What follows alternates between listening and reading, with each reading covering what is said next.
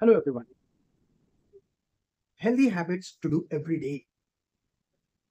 Number one, wake up early. Your life clock should sync with nature's clock. As the sun rises, by the time it rises, you should be awake.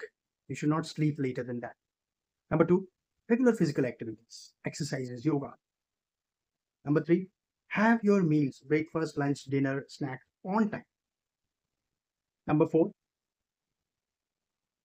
develop the habit of taking seasonal fruits and vegetables as balanced diet. Number five, drink water at least 40 to 45 minutes after your meals. Number six, choose food combinations very properly for your good health. Number six, no late night activities.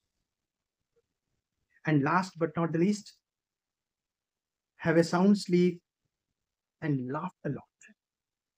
Follow these secrets as a healthy practice for every day. Thank you.